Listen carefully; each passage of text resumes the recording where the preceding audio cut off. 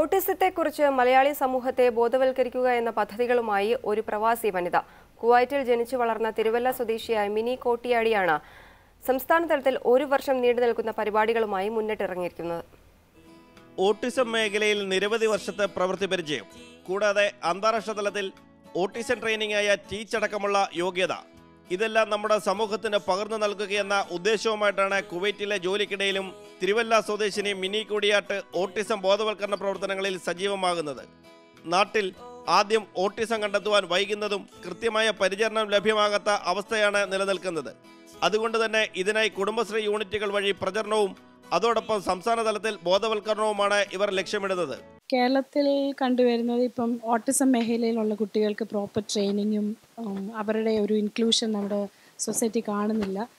അപ്പം അതിൻ അതിന്റെ ബേസിസിൽ നമ്മളിപ്പം ഒരു സ്റ്റേറ്റ് ലെവൽ പ്രോഗ്രാം ജൂലൈ ഫോർട്ടീൻത്തിന് ട്രിവാൻഡ്രത്ത് വെച്ച് നടത്താൻ തീരുമാനിച്ചിരിക്കുകയാണ്. ഇന്നത്തെ നമ്മുടെ ചീഫ് മിനിസ്റ്ററെ ഞങ്ങൾ ഇൻവൈറ്റ് ചെയ്തിട്ടുണ്ട്. കെ എസ് ചിത്ര ചേച്ചി ഇതിന്റെ അംബാസിഡർ ആകാൻ ഫോർ വൺ ഇയറിലേക്ക് അംബാസിഡർ ആകാനായിട്ടും സമ്മതിച്ചിട്ടുണ്ട്.